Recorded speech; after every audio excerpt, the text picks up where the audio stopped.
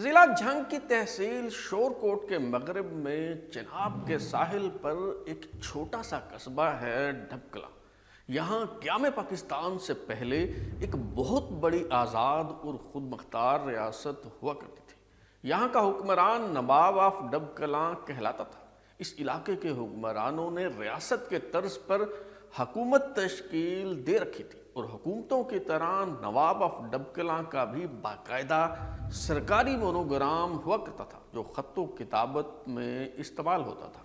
नवाब of Dabkala हक नवाज़ खान के बाद उनका बेटा मोहम्मद नवाज़ खान नवाब बना और ये इस रियासत का आखिरी हुक्मरान साबित हुआ। नवाब ऑफ़ डबकला नवाज़ खान की जागीर शोरकोट से मुल्तान के इलाके सलार वाहन तक जाती थी।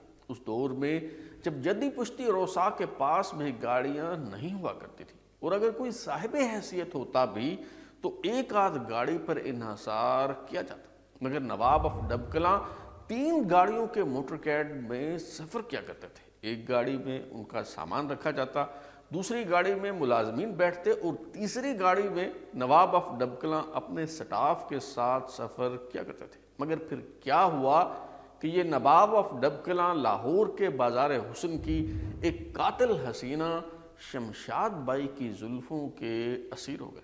ये हसीना नवाब ऑफ़ डबकला के यहाँ रंगो नूर की महफिलों की जीनत बनती रही, मगर अचानक एक रात उसे कत्ल कर दिया गया। उस हसीना के कत्ल का मुकदमा नवाब ऑफ़ डबकला के खिलाफ दर्ज हुआ। नवाब ऑफ़ डबकला के ख़ानदान का मौकफ ये है कि उन्हें इस केस में फंसाया गया। मुकदमा लड़ने के लिए कायद अजम की खिदमत हासिल की गई, मगर वो अपने मोक्ल को ना बचा सके। नवाब मोहम्मद नवाज़ खान को दास्तान गोई की तारीख का एक अहम किरदार समझा जाता है। लंदन, पेरिस, काहिरा न्यूयॉर्क समेत दुनिया भर में इस अलमनाक कहानी पर मजमून लिखे गए। मगर हकीकी दास्तान क्या है? आज हम यही गुत्थी सुलझाने की कोशिश करेंगे। पहली किसके साथ मैं हूँ बिलाल गोरी और आप देख रहे हैं नया सिलसिला दास्तान।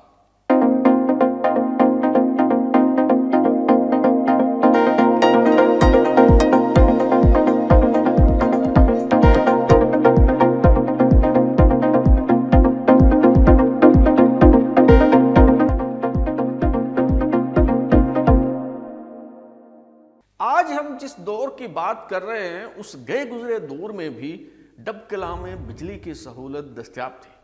नवाब ऑफ़ डबकला का महल, जिसे इशरत कदा कहना ज़्यादा मुनासिब होगा, उसमें शीशे के मुनकश तालाब थे, जहाँ हसीनाएँ जलपरियों की सूरत अटकेलियाँ करती फिरती थी। डबकला के अलावा झंग सदर में भी डब हाउस के नाम से एक राहत कदा मौजूद था। रईस ज़ादे नवाब मोहम्मद नवाज़ खान ने लाहौर के एच एस एन कॉलेज से तालीम हासिल की तो अशराफिया के बच्चों में उसकी अमारत और दौलत के चर्चे फैल गए। मर्दाना वजाहत और बेपनाह दौलत के बायस बड़े बड़े रोसा और उमरा की ये ख्वाहिश थी कि इस नौजवान को अपना दामाद बनाया जाए। लेकिन कुराय फाल पंजाब के एक बड़े जागीरदार और मरूफ सियासी शख्सियत खान बहादुर मियाँ सर फजल हुसैन के नाम निकला, जिन्होंने अपनी मंझली बेटी अस्करी बेगम नवाब ऑफ़ डबकला मोहम्मद नवाज़ खान के साथ ब्याह दी 1930 में होने वाली इस शादी पर उस दौर में 10 लाख रुपए की खतीर रकम खर्च हुई। और अगर मोहतात तखमीना लगाया जाए तो आजकल के हिसाब से ये कम अज़ कम दस अरब रुपए बनते नवाब मोहम्मद नवाज़ खान ने अपनी बीवी को मुँह दिखाई में जो हार पेश किया, उसकी मालियत पचास हज़ार रुपये थी। सर फजल हुसैन जो पेशे के एतबार से वकील थे वो वसराय हिंदुस्तान की एग्जेक्टिव कौंसिल के मेंबर रहे और फिर वज़ीर तालीम का मनसब संभाले रखा। उनका शुमार कांग्रेस के अहम रहनुमाओं में होता था। लेकिन जब महात्मा गांधी ने सत्याग्रह के नाम से अदम ताउन की तहरीक चलाने का ऐलान किया तो मियाँ सर फजल हुसैन कांग्रेस से अलग हो गए और कई हिंदू रहनुमाओं ने भी उनका साथ देते हुए ये पार्टी छोड़ दी। सर फजल हुसैन ने कांग्रेस से अलग होने के बाद यूनियनिस्ट पार्टी बनाई, जो बेहद मकबूल हुई। अगरचे सर फजल हुसैन अपने लगाए इस पौधे को बरगोबार लाता हुआ ना देख सके, और 1936 में फोत हो गए। मगर 1937 के आम इंतबात में यूनियनिस्ट पार्टी ने कांग्रेस को बहुत बुरी तरह से शिकस्त दी। पंजाब की एक नशस्तों में से अठानवे नशस्तें यूनियनिस्ट पार्टी ने जीत ली, और कांग्रेस सिर्फ़ 18 नशस्तों पर कामयाबी हासिल कर सकी। यूँ सर सिकंदर हयात खान पंजाब के वज़ीर अजम बन गए और उनके बाद खिजर हयात टिवाना ने यह मनसब संभाला। सर फजल हुसैन की कोशिश रही कि उनका दामाद, यानी नवाब ऑफ़ डबकला, नवाज़ खान हकूमती उफक पर जगमगाए और उनकी सियासी मेरास का वारिस बने। मगर नवाब मोहम्मद नवाज़ खान सियासी और फिक्री एतबार से आगे ना बढ़ सका और ऐशो इशरत का दिलदादा रहा। इस शादी के बावजूद डबकला के नवाब मोहम्मद नवाज़ खान के मजाज और आदात अतवार में किसी किस्म का कोई फ़र्क ना आया। एक और दिलचस्प पहलू यह है कि सर फजल हुसैन की बेटी ने शादी के मौका पर एक शर्त रखी थी और वो ये कि वो डबकला के बजाय लाहौर में रहना पसंद करेगी। चुनाचे नवाब मोहम्मद नवाज़ खान ने लाहौर में सर फजल हुसैन की कोठी से मुल्क अराजी खरीद कर वहाँ एक शानदार कोठी तामीर करवा दी। बादशाह मालूम हुआ कि सर फजल हुसैन की बेटी का वली अहद रियासत नाभा से मुआशका चल रहा था और चूँकि उनका घर पास ही था, इसलिए उसने लाहौर में रहने की शर्त रखी। दोनों के दरमियान दो साल में ही नाचाकी इस कदर हो गई कि वो एक दूसरे का मुँह देखने के रवादार भी ना रहे। आखिरकार 1936 में इन दोनों के दरमियान अलहदगी हो नवाब ऑफ़ डबकला नवाज़ खान जिनका शुमार अपने दौर के इंतहाई नफीस और शाइस्ता मजाज जागीरदारों में होता था, वो हल्का यारा में बेहद मकबूल थे। उनके दोस्तों की सफ में हिंदू, सिख और मुसलमान भी शामिल थे। डबकला के नवाब, नवाज़ खान की सखावत और फ्याजी भी अपनी मिसाल आप थे, क्योंकि वो दोस्तों को ना सिर्फ़ खाना खिलाया करते बल्कि उनके एजाज में रक्स सरूद की महफिलें भी बर्पा किया करते प्राण नेवल अपनी किताब लाहौर ए सेंटिमेंटल जर्नी में लिखते हैं कि नवाब ऑफ़ डबकला नवाज़ खान लाहौर के महँगे तरीन होटल फ्लैटीज़ में क्या करते जहाँ शहाना तकारीब मुनद होती और मेहमानों की तोज़ शराब से की जाती। वो अपने दोस्तों को तफरी मुहैया करने के लिए गाने वाली लड़कियों पर बेपनाह दौलत खर्च किया करते हैं। जब वो लाहौर के किसी होटल में दाखिल होते तो वेटर्स और बार में काम करने वाले मुलाजमीन की दौड़े लग जाती। इंतहा दर्जे का फ्याज होने के नाते वो आसपास मौजूद हर शख्स को इन पार्टीज़ के लिए मधु कर लिया करते थे। उस दौर के मुसनफिन और मरखीन के मुताबिक नवाज़ खान बदस्तूर शराब शबाब के रसिया रहे और शादी हो जाने के बावजूद उनके अंदाज अतवार में किसी किस्म की तब्दीली ना आई। महफलों का सिलसिला पहले की तरह जारी रहा। वो मुग़ल शहजादों की सी ज़िंदगी बसर किया करते थे। नवाब साहब के लिए पीने का पानी फ्रांस से मंगवाया जाता। कपड़े बाहर से सिलकर आते। पंजाब में सबसे पहले बिजली और जनरेटर उनके घर में आया। उनके घर का नक्शा एक फ्रांसीसी आर्किटेक्ट ने बनाया। उस दौर में नवाब साहब के घर स्विमिंग पूल हुआ करता था। एक बार नवाब साहब जंग सदर डब हाउस में मौजूद थे कि कुछ मुसलमान जामा मस्जिद की तामीर के लिए उनसे चंदा लेने आए। नवाब साहब ने कहा कि शराब की दो पेटियाँ ले जाओ, गारे में डाल देना। सखावत और फ्याजी का यह आलम था कि जंग में जहाँ आजकल शकरगंज शुगर मिल्स कायम है, नवाब साहब ने ये कोठी खड़े खड़े एक हिंदू डॉक्टर को तोहफे में दे दी थी। बिलाल जुबैरी की किताब झंग की लोक कहानियाँ में नवाब अफ डबकला मोहम्मद नवाज़ खान से मुतलक एक दिलचस्प वाक़ बयान किया गया। एक दफ़ा किसी आला नस्ल का कुत्ता लंदन के किसी लार्ड से तीस हज़ार रुपये के एवज खरीदा गया। ये कुत्ता हवाई जहाज़ के ज़रिए एक अंग्रेज़ झंग लेकर आया। सुबह बेदार होने पर नवाब साहब को कुत्ते के बारे में बताया गया तो अंग्रेज़ से एलेक्स लैक के बाद उन्होंने कुत्ते का नाम पूछा। नवाब अफ डबकला ने कुत्ते को उसी नाम से तीन मरतबा पुकारा, मगर कुत्ते ने उनकी तरफ़ तवज्जो ना की। नवाब मोहम्मद नवाज़ खान ने उसी वक्त पिस्तौल निकाल कर कुत्ते को गोली मार दी और अंग्रेज़ को तीस हज़ार रुपये नकद और किराया देकर रवाना कर दिया। अंग्रेज़ सरकार ने जंग के पेश नज़र हिंदुस्तान से रंगरूट भर्ती करने की मुहिम शुरू कर रखी थी। अंग्रेज़ गवर्नर ने सर सिकंदर हयात के मशवरे से नवाब ऑफ़ डबकला, नवाब मोहम्मद नवाज़ खान को फौज के लिए रिक्रूटमेंट वाले शोबे का एजाज़ इंचार्ज बना दिया। नवाब साहब की दिल फेंक तबीयत के बायस बिलखसूस ये अहतमाम किया गया कि उनके दफ्तर में काम करने वाली खातन में से किसी की उम्र 40 बरस से कम ना हो। सैदा आबदा हुसैन के वालिद कर्नल आबिद हुसैन, मेजर मुबारक अली शाह और रईस कोट ईसा शाह सैयद मोहम्मद हुसैन शाह को भी रंगरूट भर्ती करने की ज़िम्मेदारी सौंपी गई थी। मगर नवाब मोहम्मद नवाज़ खान छः माह में ही उकता गए और जंग वापस आकर अपने शौक और मजाज के एन मुताबिक शराब शबाब में खो गए। ये वह दौर था जब फ़िल्म इंडस्ट्री का जादू सर चढ़कर बोल रहा था। लाहौर के माल रोड पर दोनों तरफ़ स्टूडियोज खुम्बियों की तरह उग रहे थे। प्रोड्यूसर नए टैलेंट की तलाश में रहते और फ़िल्म इंडस्ट्री में कदम रखने के लिए बेताब लाहौर के बाज़ार हुसन की रकासाएँ उनके इर्द गिर्द मंडलाती रहती बाज खुशकिस्मत हसीनाओं को चांस मिल जाता तो वो हीरोइन और आर्टिस्ट का दर्जा हासिल कर लेती। वरना बाकी दोशीजाएँ तबका अशराफिया के मनोरंजन के लिए सजाई गई महफिलों में रक्स करके दौलत कमाने पर ही इक्तफा किया करती। लाहौर का फ्लैटिस होटल उन दिनों ऐसी तकरीबात का गढ़ समझा जाता था, जहाँ पंजाब और अमृतसर के बड़े जागीरदारों और नवाबों की शान बढ़ाने के लिए उनके एजाज में रंगो नूर की महफिलें बाकायदगी से सजाई जाती थी। उन दिनों रूप के शोरी की फ़िल्म मंगती रिलीज़ हुई थी। इस फ़िल्म के गीतों पर लाहौर हीरा मंडी की तवाइफ शमशाद बाई के रक्स ने तमाशबीनों को मदहोश कर रखा था। नवाब ऑफ़ डबकला नवाब मोहम्मद नवाज़ खान ने लाहौर फ्लैटिस होटल के अंग्रेज़ जनरल मैनेजर से शमशाद बाई को हाजिर करने की फरमाइश की। होटल के जीएम ने एक शर्त पर आमादगी ज़ाहिर की और वो शर्त ये थी कि ये महफिल रक्स तक महदूद रहेगी और नवाब साहब शमशाद बाई के साथ दस्त दराजी की कोशिश नहीं करेंगे।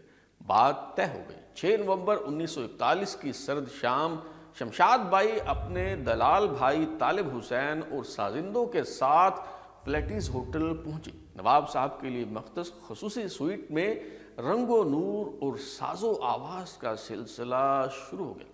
कातिल हसीना के थरकते बदन का सहर, आलाते गिना का जादू और सागर व मैना का सरूर नवाब साहब के आशकाना मिजाज को महमीज दे चुका था। शमशाद बाई ख़ानदानी तवायफ थी। उसकी माँ और दादी ने यहीं शाही महल्ले में ज़िंदगी बसर की। उसकी मुँह बोली खाला खंडो, जंग की मशहूर तवायफ थी। उसे मालूम था कि रईस ज़ादों को कैसे तड़पाया जाता है। पैसों की चमक देख कर वह हम बिस्तरी पर भी आमादा हो गई। रात के आखिरी पहर साज खामोश हो गए। बत्तियाँ गुल कर दी गई और किवाड़ मुकफल कर दिए गए। सुबह हुई तो शमशाद भाई के हाथों में सत्रह सौ रुपए के करारे नोट थे। ये कितनी बड़ी रकम थी, इसका अंदाज़ा यूँ लगाएँ कि उन्नीस सौ इकतालीस में 10 ग्राम सोने की कीमत सैंतीस रुपए थी और आज एक लाख बानवे हज़ार रुपए है। यानी नवाब साहब ने उस तवाइफ को महज शब बस्ती के लिए जो रकम दी, वो मौजूदा शरह तबादला के हिसाब से तकरीबन अट्ठासी लाख रुपए बनती है।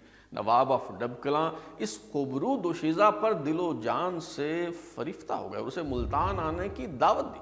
सात नवंबर की शाम शमशाद बाई अपने भाई तालिब हुसैन के साथ मुल्तान बहादुरगढ़ में नवाब साहब की आबाई हवेली पहुँची। यहाँ चूँकि नवाब साहब की वालदा नेमत बीबी, यानी नवाब हक नवाज़ खान की एहलिया रिहाइश पजीर थी, इसलिए नवाब साहब ने कहा कि यहाँ माहौल साजगार नहीं झंग के डब हाउस चलते हैं। आठ नवंबर को ये काफिला मुल्तान से कूच करके दोपहर में झंग सदर पहुँच गया। शमशाद भाई नवाब साहब का इशरत कदा देखकर हैरान रह गई। तालिब हुसैन को ड्राइंग रूम के करीब अलग कमरे में ठहरा दिया गया, जबकि शमशाद भाई नवाब साहब की ख्वाबगाह में चली गई। रात दस बजे खाना पेश करने के बाद मुलाजमीन भी अपने कमरों में जाकर सो गए। निसफ शब अचानक गोली चलने की आवाज़ से गहरा सकूत टूटा तो नवाब साहब के बातमाद जाती मुलाजिम गुलाम हुसैन उर्फ़ गामन और मोहम्मद हुसैन हड़बड़ा कर उठ बैठे। खाबगाह का दरवाज़ा तो अंदर से बंद था, मगर दोनों मुलाजमीन खुफिया रास्ते से अंदर दाखिल हुए। तो नवाब साहब का हमनाम कज़न मोहम्मद नवाज़ वहाँ पहले से ही मौजूद था, बल्कि कुमकुमा रोशन था। नवाब साहब शमशाद भाई के साथ लेटे हुए थे। तकिया खून से लथपथ था और शमशाद भाई की गर्दन से अब भी लहू बह रहा था। नवाब साहब का पिस्तौल कुछ फासले पर पड़ा था। नवाब साहब के चचाजाद भाई ने मुलाजिम मोहम्मद हुसैन को कहा कि झंग के मशहूर वकील मनोहर लाल को बुलाओ। एक घंटे बाद वकील ने आकर नवाब साहब से वाक़ की तफसील मालूम करने की कोशिश की। तो नवाब साहब जो सत्य की हालत में थे उन्होंने महज इतना कहा कि शमशाद मर गए। ये क्या हो गया? ऐसा नहीं हो सकता। वकील मनोहर लाल के कहने पर कोतवाली पुलिस स्टेशन को इतला दी गई। थानेदार अली हुसैन ने मौका पर पहुंचकर जाय वकुआ का जायजा लिया। नवाब साहब अभी तक शमशाद बाई के मुर्दा जिस्म से लिपटे हुए थे। पुलिस के फोटोग्राफर जुगन्नाथ ने मुख्तलिफ़ जावियों से तस्वीरें बनाई। सुबह नौ बजे पुलिस सुप्रिटेंडेंट सैयद नूर हुसैन शाह और इलाका मजिस्ट्रेट भी पहुँच गए। नवाब मोहम्मद नवाज़ खान को गिरफ़्तार कर लिया गया। शमशाद भाई की लाश को हॉस्पिटल भिजवा दिया गया। यहाँ डॉक्टर शेर सिंह ने मुआयना किया। पोस्टमार्टम रिपोर्ट के बाद बताया गया कि गोली मकतूला की गर्दन के बाएँ तरफ़ से गुजरकर दिमाग के जेरी हिस्से में कान के करीब रुक गई। जिसकी वजह से उसकी मौत वाक़ हो गई। शमशाद भाई के कत्ल से भौचाल आ गया और ये धमाका खेज खबर जंगल की आग की तरह हर तरफ़ फैल गई। लाहौर शाही महल्ले में पहली बार ऐसा हुआ कि सोग में एक हफ़्ता धंधा बंद रहा। फनकारों ने एहतजाज किया और मुतालबा किया कि इंसाफ फराम किया जाए। नवाब अफ डबकला, नवाज़ मोहम्मद, नवाज़ खान की वालदा नेमत बीबी को इस वाक़ की इतला मिली तो इकलौते बेटे की गिरफ्तारी पर तड़प उठी और पुलिस कप्तान नूर हुसैन शाह की कोठी पर जाकर अपना दुपट्टा उसके कदमों में डाल दिया। नवाब मोहम्मद, नवाज़ खान की वालदा का इस्तदलाल था कि अगर कत्ल का इल्ज़ाम दुरुस्त भी है तो उसके बेटे ने माशरे के किसी शरीफ और महजब इंसान को तो नहीं मारा। एक पेशावर औरत का ही कत्ल हुआ है। उसे छोड़ दो। तराजू में तोल कर उसके बराबर सोना दे दूँगी। पुलिस अफसर नूर हुसैन शाह, जो ईमानदार अफसर थे, उन्होंने कहा कि गुनागार ये बेगुनाह का फैसला करना अदालत का काम है। वो मुलजिम को रिहा नहीं कर सकते। डबकला के नवाब मोहम्मद नवाज़ खान की दास्तान बयान करने का ये सिलसिला जारी है। नवाब साहब को एक तवाइफ से इश्क की कितनी भारी कीमत चुकाना पड़े ये मालूम हो सकेगा आइंदा के साथ में। अब तक के लिए इतना ही। बिलाल को इजाज़त दीजिए, फिर मुलाकात होगी। अगर आप अपनी राय देना चाहते हैं या फिर कोई तजवीज़ तो हमारा WhatsApp number zero double three two eight four one zero five three seven. दस्तियाब अपना फीडबैक दें लाइक करें। सब्सक्राइब करने के बाद घंटी दबाएँ, ताकि आपको नई वीडियोज़ की नोटिफिकेशन मिलते रहें। बहुत शुक्रिया।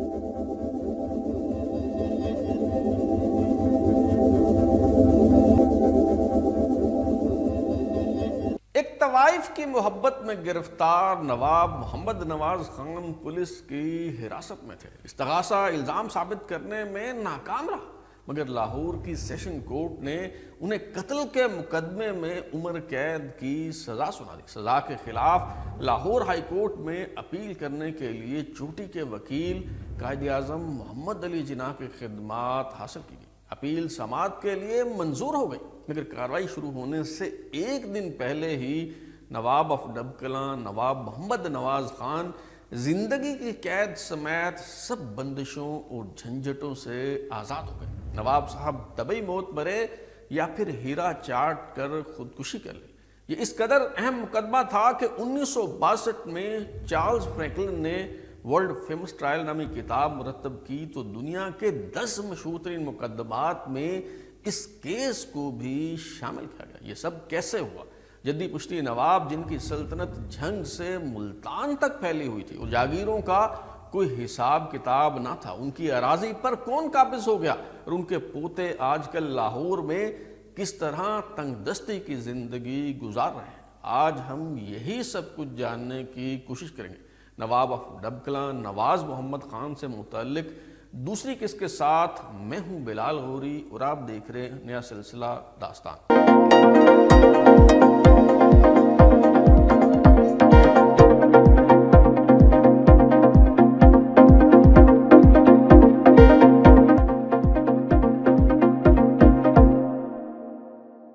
आज हम जिस दौर की बात कर रहे हैं, उस गए गुजरे नवाब साहब को जुडिशल रिमांड पर झंग जेल भेज दिया गया, जहाँ वो तीन हफ़्ते कैद रहे। अदालत ने मेडिकल रिपोर्ट की बुनियाद पर नवाब मोहम्मद नवाज़ खान को रिहा कर दिया। मगर शमशाद बाई की कंजर बरदरी ने लाहौर हाईकोर्ट में जमानत मनसूखी की दरख्वास्त दायर कर दी। हाईकोर्ट ने यह अपील मंजूर करते हुए जमानत मनसूख कर दी और मुलजम को गिरफ़्तार करके इलाज के लिए न्यू हॉस्पिटल दाखिल करवाने का हुक्म दे दिया। चुनाचे 18 दिसंबर 1941 को नवाब साहब को हिरासत में लेकर म्यू हॉस्पिटल मुंतकिल कर दिया गया। मुकदमा की इब्तदाई समात झंग इलाका मजिस्ट्रेट की अदालत में शुरू हुई तो तीन नामवर वकला, मियाँ Mohammad Amin M L A bar at law, Sheikh Mohammad Yusuf Sahab Qureshi bar at law और दीवान मनोहर लाल एडवोकेट ने नवाब साहब का दिफा किया। मगर नवाब मोहम्मद नवाज़ खान अपने वकला की कारकर्दगी से मुतमिन ना थे। उन्होंने शेख मोहम्मद यूसुफ शाह से कहा कि बम्बई जाकर कायद आज़म से मुलाकात करें और उन्हें ये मुकदमा लड़ने पर आमादा करें। कायद अजम ने एक लाख रुपया पेशगी अदायगी बजरिया हवाई जहाज़ आमदोरफ्त का खर्चा और बीस हज़ार रुपया योमिया फ़ीस तलब की। नवाब मोहम्मद नवाज़ डब ने तो बखुशी ये शराइ तस्लीम कर ली। मगर उनकी वालदा निमत बीबी ने बाज़ अफराद के जेर असर माजत कर ली और कहा कि वो इतनी बड़ी फ़ीस नहीं दे सकती। यूँ महसूस होता है कि मामला पैसों का नहीं था, क्योंकि झंग के डिप्टी कमिश्नर बलवंत सिंह फलवा को डब खानदान की तरफ़ से बतौर रिश्वत छप्पन हज़ार रुपया मालियत की नई गाड़ी दी गई थी और वो इस मुकदमा पर असरअंदाज होने की कोशिश कर रहे थे। मगर पुलिस सुप्रिटेंडेंट सैयद नूर हुसैन शाह की रिपोर्ट पर चीफ सेक्रेटरी ने उन्हें तब्दील करके एक अंग्रेज़ अफसर को झंग में डिप्टी कमिश्नर तैनात कर दिया। भारतीय सिविल सर्वेंट मौरख और मुसनफ़ प्राण नेवल जो लाहौरी है, वो तकसीम हिंदुस्तान के वक्त यहाँ से हिजरत करके भारत गए। अपनी किताब लाहौर अ सेंटिमेंटल जर्नी में लिखते हैं कि नवाज़ खान जब नशे में धुत था तो शमशाद बाई से प्यार करना चाह रहा था। शमशाद बाई ने नवाब साहब को धक्का दिया तो वो पलंग से नीचे गिर गए। नवाब साहब को लड़खड़ाता देखकर शमशाद बाई हंसने लगे। नवाब साहब ने मुश्तिल होकर तकिए के नीचे रखा हुआ रिवाल्वर निकाला और शमशाद बाई को गोली मार कर कत्ल कर दिया। इसके बाद जो कुछ हुआ, वो नाकाबले यकीन था। ट्रायल के दौरान पेश किए गए शवाहिद से मालूम हुआ कि नवाब साहब शमशाद बाई के मरने के बाद भी 10 घंटे तक उसके साथ लेटे रहे। दौरान समात जिरा हुई तो नवाब अफ डबकला नवाब मोहम्मद नवाज़ खान ने कहा कि शमशाद बाई को गोली तो मेरे ही पिस्तौल से लगी है, लेकिन फायर किसी और ने किया है। नवाब साहब ने कहा कि वो तो शमशाद बाई से प्यार करते थे और उससे शादी करना चाहते थे, भला वो उसे क्यों कत्ल करते?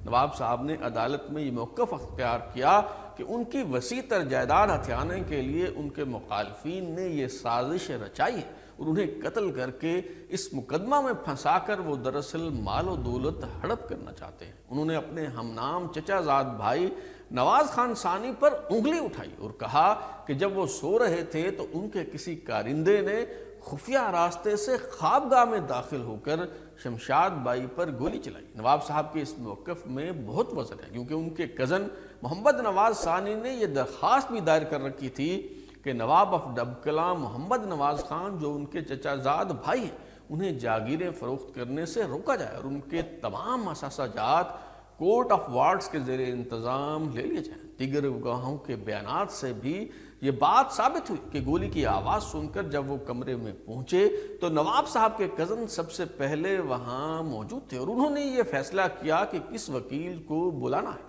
मकतूला तवाइफ शमशाद बाई के भाई और दलाल तालिब हुसैन ने भी अपने बयान में कहा कि रात आठ बजे शमशाद बाई ने आकर उसे बताया कि वो नवाब साहब के तर्ज अमल से मुतमिन है और नवाब साहब ने उसे अठारह सौ रुपये दिए शमशाद बाई के कत्ल के हवाले से एक दूसरी राय भी मौजूद है। बिलाल जुबैरी की किताब झंग की लोक कहानियाँ में लिखा है।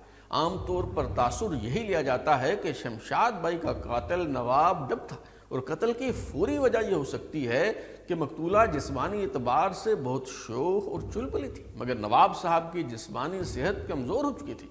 फिर शराब की ज्यादती के बायस वो शमशाद की शोखियों का जवाब देने से कासर रहे और शदीद एहसास कमतरी से मगलूब होकर नवाब साहब ने हँसते हँसते शमशाद को कत्ल कर दिया। ये तासुर बहुत जज्बाती है, लेकिन बैद नहीं। दूसरी रिवायत यह है कि मोहम्मद नवाज़ एसाबी तौर पर बेहद कमज़ोर हो चुका था और उसने अंग्रेज़ मुआलजों के मशवरे से अयाशी के लिए इलेक्ट्रॉनिक सिस्टम बनाया हुआ था, यानी जिस वक्त वो मुजामत करना चाहता, एक ऑटोमेटिक मशीन से बिजली का कनेक्शन जोड़ दिया जाता और फिर उस मशीन से एक बारीक सा तार लेकर अपने उजवे तनासुल से बाँध दिया करता, जिससे उसमें मर्दाना ताकत आ जाती। शमशाद को लाहौर के फ्लैटिस होटल में इस सिस्टम का तजर्बा हो चुका था और वो इस इलेक्ट्रॉनिक सिस्टम के ज़रिए मजामत के लिए तैयार ना थी। नवाब मोहम्मद नवाज़ खान ने जज्बात शहवानी से मगलूब होकर उस पर गोली चला दी। इब्तदाई समात के बाद जब नवाब मोहम्मद नवाज़ डब का मुकदमा सेशन जज की अदालत के सपुर्द हुआ तो इस्तगासा ने मुकदमा की कार्रवाई लाहौर मुंतकिल करने की दरख्वास्त की। क्योंकि नवाब मोहम्मद नवाज़ खान भी वहीं म्यू हॉस्पिटल में बतौर मुलजिम जेर हिरासत थे। हाईकोर्ट ने यह दरख्वास्त मंसूर कर ली तो लाहौर सेशन जज की अदालत में मुकदमा की समात शुरू हुई। लाहौर की सेशन कोर्ट में शमशाद भाई कत्ल केस का ट्रायल शुरू हुआ तो सबकी नज़रें अदालती कार्रवाई पर मरकूज हो गई, क्योंकि ये उस दौर का इंतहाई हाई प्रोफ़ाइल केस था। नवाब अफ डबकला नहायत बासर शख्सियत थे। उनके ससुर मियाँ सरफजल हुसैन के अंग्रेज़ हुकाम से दोस्ताना ताल्लुक थे। मगर समाजी रुतबे के बावजूद नवाब अफ डबकला नवाज़ खान को इस मुकदमे में सेशन कोर्ट ने कातिल करार देते हुए सजा सुना दी। सात जून 1942 को लाहौर के डिस्ट्रिक्ट एंड सेशन जज मिस्टर फाल शाह ने इस अहम तरीन मुकदमा का फैसला सुना दिया। सेशन जज अदालत की ज्यूरी ने फैसला दिया कि इस्तगासा कत्ल का मकसद वाज करने में नाकाम रहा है। लिहाजा मुलजिम इस अमर का मुस्तक है कि उसे शक का फ़ायदा देकर भरी कर दिया जाए। तहम सेशन जज मिस्टर फाल शाह ने अपने फैसले में लिखा कि इस्तगासा कत्ल का मकसद साबित करने में नाकाम रहा है, लेकिन कत्ल तो हुआ है। लिहाजा मुलजिम को उम्र कैद की सजा सुनाई जाती है। सेशन कोर्ट के इस फैसले के खिलाफ लाहौर हाई कोर्ट में अपील दायर करने का मरहला आया तो एक बार फिर मुल्क के बेहतरीन वकील कायद अजम मोहम्मद अली जिना की खिदमत हासिल करने का फैसला किया गया। कायद अजम मोहम्मद अली जिना इस मुकदमे की तैयारी के लिए झंग तशरीफ़ लाए और भरपूर तैयारी के साथ मातहत अदालत के इस फैसले के खिलाफ लाहौर हाई कोर्ट में अपील दायर कर दी गई। लाहौर हाई कोर्ट के chief justice sir Douglas Young छुट्टियाँ गुजारने कश्मीर गए होते और जिस दिन वो इस मुकदमे की समात के लिए लाहौर वापस आए, उससे मुंसलिक गुज्तर शब सात जुलाई 1942 को Nawab of Dabkala, Nawab Mohammad Nawaz Khan Dab Lahore Mayo hospital में दौरान हिरासत ही ज़िंदगी की कैद से आज़ाद हो गए। एक रिवायत ये भी है कि नवाब साहब ने रसवाई और जग हंसाई की ताब ना लाते हुए दरअसल हीरा चाट कर खुदकुशी कर ली थी। नवाब अफ डबकला नवाज़ मोहम्मद खान ने दार फानी से कूच किया तो उनकी उम्र महज इकतीस बरस थी। उनकी जवान साल मौत पर लाहौर से डबकला और वहाँ से मुल्तान तक उनके सब चाहने वालों की आँखें नम थी। नवाब अफ डबकला की मौत के बाद इस खानदान का शहराजा बिखर गया। हुकूमत तो हाथ से गई ही। खानदानी जागीर का एक बड़ा हिस्सा भी लोगों ने हथिया ली बिलाल जुबैरी की किताब झंग की लोक कहानियाँ में लिखा है, यहाँ ये बात भी दिलचस्पी से खाली नहीं कि मोहम्मद नवाज़ की वफात के बाद उसकी वाहिद लड़की जो अपने ननिहाल में परवरिश पाती रही। जब वो जवान हो गई तो उन्नीस सौ तिरपन में झंग के एक डिप्टी कमिश्नर ने उसे मजबूर किया कि उसके लड़के से शादी कर ले लेकिन वो ना मानी। इसी वजह से ख़जाना में महफूज दौलत उसे ना मिल सकी। और लड़की के रिश्ता पर भी झगड़ा होता रहा। नवाब मोहम्मद नवाज़ खान डब की ये बेटी जिसका नाम खुर्शीद बेगम अलमारूफ नसीम भी, था हर एक की ख्वाहिश थी कि सोने की ये चिड़िया उसके हाथ आ जाए।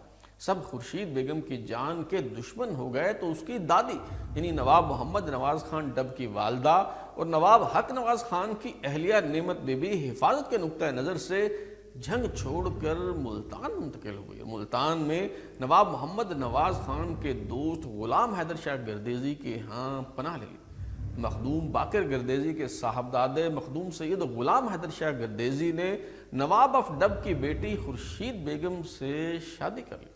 मखदूम गुलाम हैदर शाह गर्देजी मकामी सियासत में मुतहरक रहे। यूनियन कौंसिल के चेयरमैन और ज़िला कौंसिल मुल्तान के मेंबर भी रहे। उनके बेटे फजल अब्बास गर्देजी अब दब ख़ानदान और गर्देजी ख़ानदान की नुमाइंदगी करते हैं।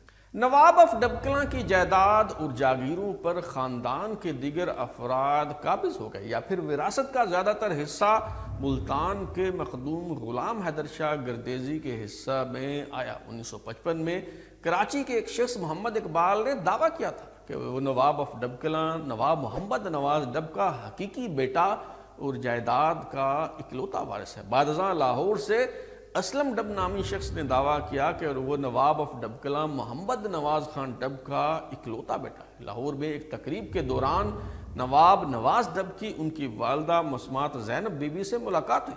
जैनब बीबी, जिनका ताल्लुक बट ख़ानदान से था, और वो हसन दिन बट और जेबुलनसा की बेटी थी। नवाब मोहम्मद नवाज़ खान ने उनसे शादी कर ली और उन्नीस सौ उनतालीस में उनके यहाँ एक बेटे की पैदाइश हुई, जिसका नाम असलम डब रखा गया। असलम डब के बेटे अरशद डब जो लाहौर में रहते हैं। उनका दावा है कि जब नवाब मोहम्मद नवाज़ खान म्यू हॉस्पिटल में जेर इलाज थे तो उनके पास तीसरी बीवी, जीनत बीबी ही रहा करती थी। अरशद डब ने इस हवाले से झंग की मकामी अदालत में एक मुकदमा भी दर्ज कर रखा है, जिसमें मौकफ अख्तियार किया गया है कि नवाब मोहम्मद नवाज़ खान के पोते होने के नाते उनकी जुमला अराजी के हकीकी वारिस वो है। यूँ तो नवाब अफ डबकला की जागीर का कोई हिसाब नहीं, मगर इस मुकदमे में कई हज़ार किनाल अराजी के कागजात लफ किए गए हैं और इस्तः की गई है कि ये जुमला अराजी अरशद डब के नाम मुंतकिल की जाए। जी, मेरा नाम अरशद अली डब है। मेरे वालद का नाम मोहम्मद असलम डब है, जो कि ज़िले जंग के बहुत बड़े जागीरदार के बेटे हैं। नवाब साहब के प्रॉपर्टी के, ज़मीन के, जायदाद के वारिस थे। मोहम्मद असलम नवाब मोहम्मद नवाज़ साहब का बेटा था और मैं नवाब मोहम्मद नवाज़ डब का पोता हूँ और नवाब साहब की मुलाकात जीनत नामी खतून से हुई थी। तो इनकी बातचीत हुई तो इनके यहाँ, इनकी शादी हो गई। इनकी शादी के बाद इनके यहाँ बेटा हुआ जिसका नाम था मोहम्मद असलम डब। उनकी ज़्यादा ज़िंदगी का हिस्सा लाहौर फ्लैटी होटल में ही गुज़रा और जब उनकी वफ़ात भी हुई तो मियो हॉस्पिटल में उनकी वफ़ात हुई। तब के जीनत बीबी भी उनके पास थी। उसके बाद जब नवाब साहब की डेथ हुई तो दुश्मनों ने, नवाब साहब के शरीक बलादरी ने, नवाब साहब के रिश्तेदारों ने जीनत बीबी को मारने की कोशिश की और जीनत बीबी अपने बेटे को असलम को लेकर कहीं छुप गई। ठीक है ना? और जीनत बीबी जहाँ छुप गई तो जीनत बीबी से नवाब साहब की माँ नियामत माई ने, नियामत माई ने रबते की कोशिश की। जीनत छुपी रही। असलम उन्नीस सौ उनतालीस में पैदा हुआ और उन्नीस में असलम का वालद मोहम्मद नवाज़ डब फोत हो गया और असलम की वालदा 1945 में फोत हो गई। ये दो तीन साल के अंदर अंदर इनके माँ बाप फोत हुए। असलम जब बालक हुआ अठारह बीस साल का हुआ अपने वालद की तलाश में गुजरा ए, निकला अपनी जायदाद अपनी रियासत। जब अपनी उसने पहचान बताई ठीक है उतनी देर में लोगों ने ना बलादरी के लोगों ने कब्ज़ा ग्रुप ने नवाब साहब की जायदाद खुर्शीद बेगम से मिल के सारी अपने नाम करवा ली। आदि खुर्शीद बेगम ने ले ली जायदाद और आदि जो जायदाद थी वो बलादरी के लोगों ने और कब्ज़ा ग्रुप के लोगों ने, जिनका कोई नवाब साहब के साथ शजरा भी नहीं मिलता तो उन्होंने नवाब साहब की ज़्यादा सारी अपने असलम रुलता रहा रुलता रहा पचास साल, साठ साल तो रुलता रहा रुलता रहा जब असलम की वफात हुई, डेथ हुई, वो फोत हुए, दुनिया से रुखसत हुए, नवाब साहब का बेटा सन 2012 में फोत हो गया। जब मैंने उनका एक देखा, टैची देखा, संदूक देखा, टैची देखा, उसके अंदर नवाब साहब की जायदाद की सारी जमा बंदियाँ ज़मीनों के कागज़ प्रॉपर्टी के कागज़, हर कागज़ डुप्लीकेट पड़ा हुआ था। तो सन 2015 में मैंने सिविल कोर्ट जंग में दावा दायर कर दिया। डबकला के कई बुज़ुर्ग भी इस बात की तस्दीक करते हैं कि नवाब मोहम्मद नवाज़ खान ने लाहौर में जीनत नामी खातून से तीसरी शादी कर रखी थी और असलम डब उनका हकीकी बेटा है। डबकलां के एक बुज़ुर्ग बाबा खान जो नवाब मोहम्मद नवाज़ खान डब की फुफी के बेटे आइए उनसे जानते हैं कि इस दावे की हकीकत क्या है। ए नवाब साहब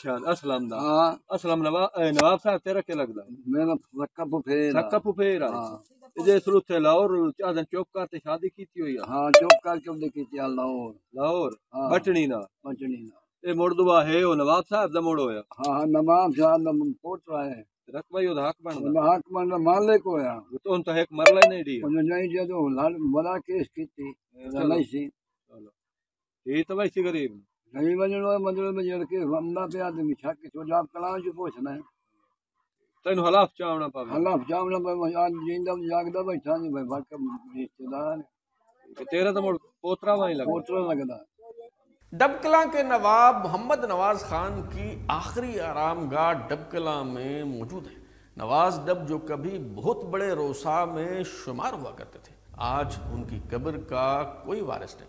जायदाद हथियाई जा चुके हैं। नवाब मोहम्मद नवाज़ खान को शायद ज़िंदगी में भी इस बात का इदराक था। एक बार किसी खैर खान ने शाखर्ची से रोका तो नवाब साहब ने कहा कि आप क्या चाहते हैं? ये सब दौलत अपने बदखाहों के लिए छोड़ जाऊँ। जो मेरे मुखालिफ हैं, मरने के बाद वही मेरे वारिस बने। मेरा तो दिल चाहता है कि डब हाउस भी बेच दूँ। सब कुछ फरोख्त करने के बाद अपनी कार समेत दरिया में छलांग लगा दूँ और डूब जाऊँ। ये थी डबकला के नवाब मोहम्मद नवाज़ खान और तवाइफ शमशाद भाई के प्यार की इबरतनाक कहानी। जल्द ही किसी नई दास्तान के साथ फिर मुलाकात अब तक के लिए इतना ही। बिलाल और को इजाज़त दीजिए, फिर मुलाकात होगी। अगर आप अपनी राय देना चाहते हैं या फिर कोई तजवीज़, तुम्हारा WhatsApp number zero double three two eight four one zero five three seven दस्तियाब है। अपना फीडबैक दें लाइक करें सब्सक्राइब करने के बाद बेल आइकन दबाएँ, ताकि आपको नई वीडियोज़ की नोटिफिकेशन मिलते रहें। बहुत शुक्रिया।